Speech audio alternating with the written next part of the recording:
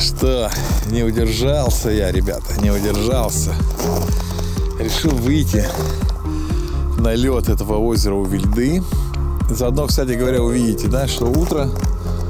А вот и наши соседи сзади меня в палатке. И вот там, посмотрите, в сторону восхода. Посмотрите, какой, кстати говоря, красивый да, восход. Ну, я не знаю, на мой взгляд, очень колоритненько так все. Хоть бери фотоаппарат и фотографируй. Урал. А вот смотрим, давайте на горизонт. Понятно, что приземистые горы, они похожи на сопки. Ну, у нас так не называют. Никто у нас не называет горы уральские сопками. Это только, знаете, кто либо жил, либо бывал на Дальнем Востоке, вот где Владивосток или Хабаровский край. Вот это да. А у нас нет горы. Всем привет, я Евгений Замятин, дорогой друг, я рыболов и спортивный судья. Раньше я соревновался и судил соревнования, а сейчас я веду этот канал. Это видео о рыбалке. Сегодня мы с тобой научимся вязать очень полезный узел. Он называется узел Марка. Этим узлом можно привязывать в первую очередь мормышки, потому что чаще всего именно этим узлом мормышки к леске привязывают. Но, кроме того, этим узлом вообще-то можно привязывать любой крючок к леске. Узел Марка. Дорогой друг, мы с тобой со льда прекрасного озера Увильды перенеслись ко мне за стол и будем вязать узел Марка. Узлом Марка очень удобно привязывать мормышку к леске. И мы не просто так с тобой будем сейчас сидеть и смотреть, учиться вязать этот узел, а мы будем вязать гирлянду, гирлянду для ловли рипуса. И вот это как раз мормышка у меня будет нижняя, это мормышка муравей. И это тульская мормышка, я передаю этим самым тоже свое почтение и уважение Павлу Барбашеву, который изготавливает эти тульские мормышки. Из этих тульских мормышек одни из самых лучших гирлянд для ловли рипуса и сига на озере Увильды. Мы вяжем гирлянду Внизу у нас такая достаточно массивная гирлянда, а сверху, вот посмотрите, я уже приготовил заготовочку. Здесь я сегодня буду вязать три гирлянды. Здесь у меня муравьи, капли, дробинки, а есть еще овсинки и шайбы. И я вяжу из этих вот тульских мормышек самые эффективные гирлянды для ловли рипуса и сига на озере Увильды. Итак, мы вяжем узел марка. Этим узлом марка удобно привязывать мормышку к основной леске. Например, когда у нас есть леска на нашей балалайке, на удочке балалайка, то именно этим узлом марка мы привязываем мормышку к леске, к основной леске зимней удочки. Смотрите, вяжется это очень быстро и этот узел очень эффективный, не сомневайтесь. Итак, сначала мы вот смотрим, где у нас изгиб крючка и на себя. То есть у нас изгиб крючка смотрит в нашу сторону. Мы одеваем вот в это вот, видите, на вольфрамовых мормышках Павла Барбуша всегда э, кембрики есть внутри вот этих вольфрамового тела мормышки кембрики силиконовые для того, чтобы не поранить леску. Итак, мы одели, посмотрите как. Мы одели изнутри, то есть не снаружи, а изнутри. Изгиб у нас крючка идет в нашу сторону.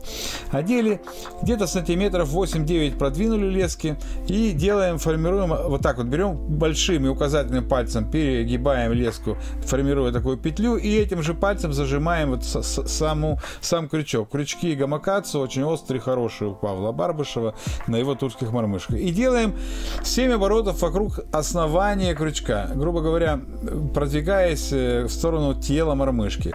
Э, это узел очень легко вязать на морозе, замерзшими руками. Он несложный, но очень эффективный. Итак, снова смотрим. Мы продвинули леску внутрь, изгиб крючка смотрит на нас, большим указательным пальцем сформировали петлю, и, и вот тем самым даже вот так взяли поближе, чтобы было, и начинаем обворачивать вокруг. Э, вместе с леской мы обворачиваем от 5 до 7 раз. Раз, два. Э, не торопясь все это делаем, потому что нам очень легко зацепить нашим хвостиком за основную леску. Три, четыре. Это уже рабочий будет поводок, нижний поводок 5 для гирлянды, для ловли рибуса. 6 и вот 7. Седьмой раз. И вот этот конец, который у нас остается лески, мы видите, вот у нас между большим указательным пальцем вот эта петля сформировалась. Мы берем и в эту петлю просовываем, и все. Дальше наша задача смочить это водичкой и затянуть. Иногда слюной смачивают, но это не очень э, гигиенично, что ли. И смотрите, как удобно. Чуть-чуть вытянуть леску вот из тела мормышки, чтобы не перегибать ее, не пережимать. И спокойно вот таким образом затягивать. Поверьте, эти секунды нам ничего не, не дадут. Если мы резко будем тянуть, мы просто пережжем нашу, э, если резко леску будем тянуть. А если вот так вот плавненько, то у нас формируется великолепный, надежный узел, который называется марка и который нас никогда не подведет. Все, пододвигаем к основанию крючка вернее, космолески. И вот этот длинный хвостик не нужен нам. Мы спокойненько обрезаем. Я использую скальпель, можно использовать ножницы. Обрезаем, оставляя хвостик буквально в полтора-два миллиметра. Все, наш узел готов. И этот узел называется марка. Его эффективно применять для ловли рыбы на мормышке надежно. И посмотрите, привязав, у нас крючок, жало крючка всегда смотрит вверх. Это насадочная мормышка, поэтому она готова сейчас к насадке и к ловле рыбы. А чтобы сформировать из этой лески уже настоящий поводок, который у нас реально будет в бой, пойдет в понедельник на рыбалку. Я собираюсь на рыбалку как раз провожать зиму, и вот с, эти, с этими гирляндами поеду. То есть мы берем примерно 20 сантиметров, отодвигаем, и здесь нам нужно сформировать петельку. Для этого мы будем использовать петлевяз, но это тоже делается очень эффективно и быстро. То есть мы перегибаем, понимаем, что вместе изгиба у нас сформируется петля. Петля у нас получается обыкновенная восьмерка, узлом восьмерка привязана. Один оборот сквозь петлевяз, подтягиваем, затянули, и у нас получилась петля нашего поводка. Все. Только что, дорогой друг, перед нашими глазами мы связали, привязали узлом марка. Готовый нижний поводок для гирлянды, для ловли рипуса из тульских мормышек. Это мормышка нижняя муравей. Вот прошу любить, жаловать и использовать этот узел для своих рыбалок, дорогой друг. Для того, чтобы ты мог эффективно и надежно всю жизнь пользоваться вот таким, таким узлом, и он тебя никогда, никогда не подведет. Принесет только радость. На любом, при любом морозе голыми руками очень быстро связать такой узел. Дорогой друг, подписывайся на канал. Призываю тебя подписаться на канал, то есть подписывайся на канал Новый Зритель, становись товарищем в нашу команду, в нашу компанию, да? Ну, заодно меня поддержи своей подпиской.